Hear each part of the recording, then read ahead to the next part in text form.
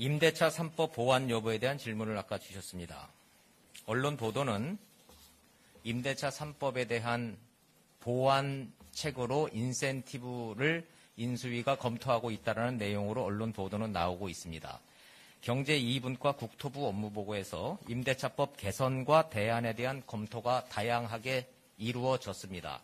임대차 3법 페이지부터 대상을 축소할 것까지 다양한 의견이 제시가 돼 있는 상태입니다.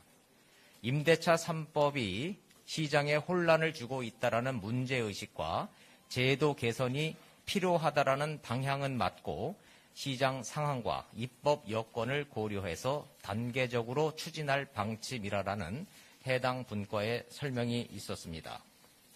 임대차 3법은 다 아시다시피 계약 갱신 청구권, 전월세 상한제, 전월세 신고제 세 가지인데 어, 시, 시장에 상당한 혼선을 주고 있다라는 그런 문제의식과 제도 개선에 대한 의지는 분명하다는 점은 다시 한번 말씀드리도록 하겠습니다.